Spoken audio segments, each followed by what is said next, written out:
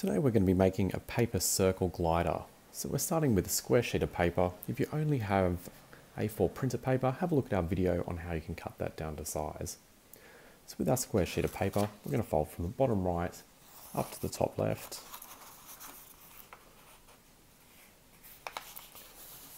And we'll create a crease. Then we're going to turn our paper. I'm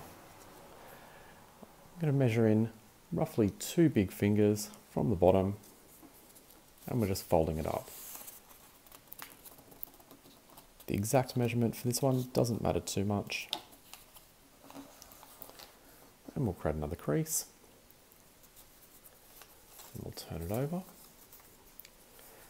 Next what we're going to be doing is to join the two ends together. So you can see that they both open up. What we want to do is to just slot one into the other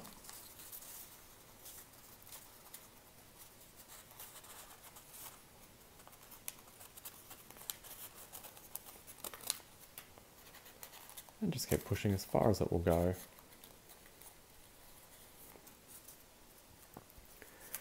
Then we can just work our way around.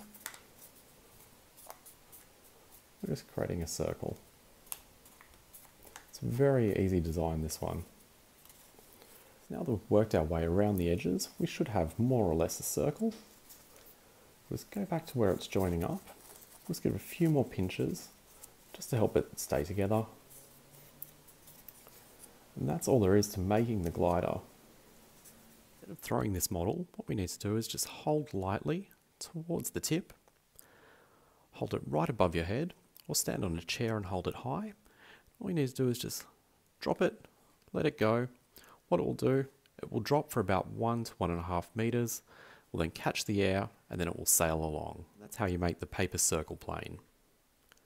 Hope you enjoy.